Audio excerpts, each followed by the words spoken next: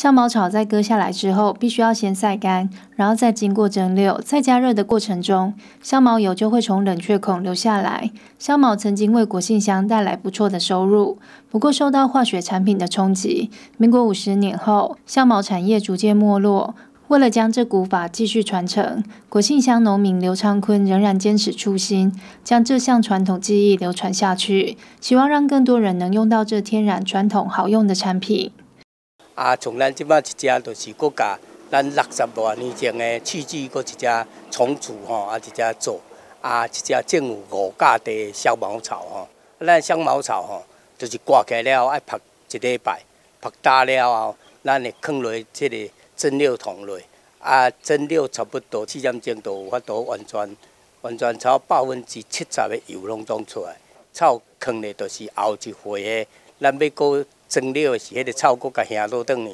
安尼吼，迄个草才袂搁拍生掉。双脚泡在提炼香茅所分离出的香茅水中，淡淡的香气让人神清气爽。为配合地方特色产业发展。农民以芳香体验之旅进行规划，让游客实际体验香茅精油及香皂等的制作过程，也让国庆乡的香茅产业得以振兴。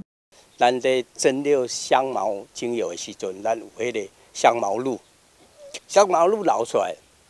一般咱有摕来做迄个手工香皂，啊，重的咱拢互游客直接泡脚，真侪人来遮泡这个，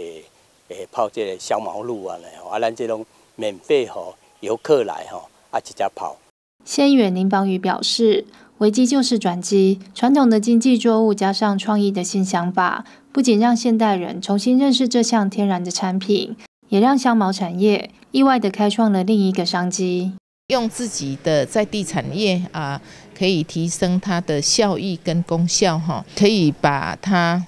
包装或者是呃创新，可以开发出自己的一个东西来。我相信这一对于地方的产业的提升，啊有很大的这个效益。香茅精油制作十分繁琐，需耗费相当多的体力及耐力。站在观光休闲的角度，副议长潘一全也期望县府相关单位应该以行动支持与协助，将这项传统产业延续并做大，相信定能有助于带动地方观光效益。记者洪义伦、陈伟一国信采访报道。